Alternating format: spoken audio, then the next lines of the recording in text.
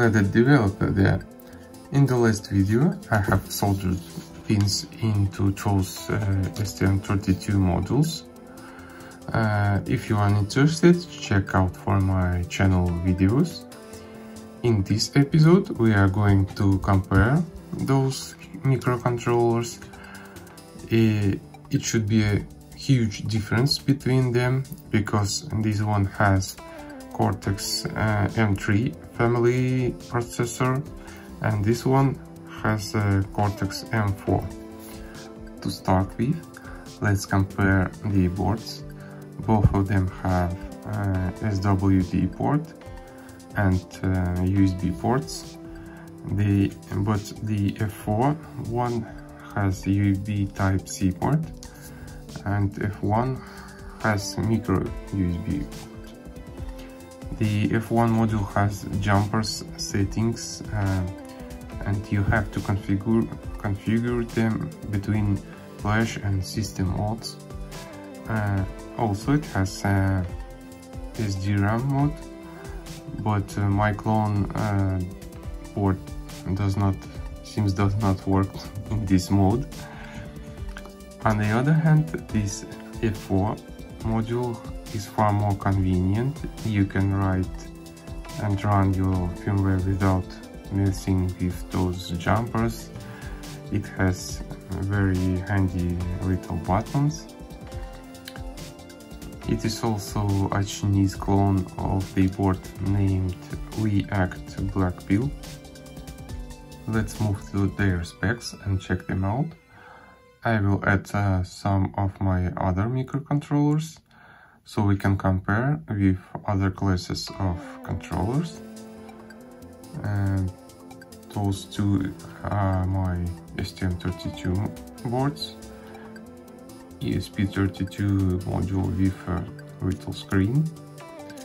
And uh, this is the uh, controller board which is well known uh, as Arduino Nano board and uh, ATtiny13 uh, chip which is a very tiny chip you can use for your things.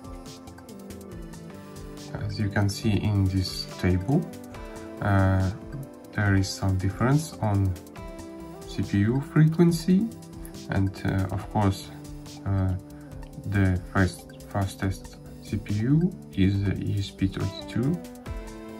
It has 4 megabytes of flash RAM, so you can use almost any uh, software, not actually any, but uh, you can use uh, any uh, microcontroller framework you want and uh, while if you let's say you take a Tiny 14 it has only one kilobyte of flash RAM and uh, you cannot do too much with uh, because it's, it's uh, not too much of RAM.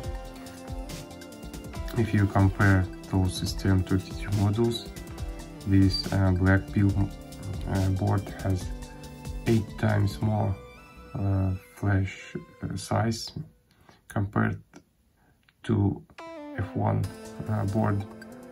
And it has uh, roughly 6 times more RAM while of course it is more expensive compared to previous boards.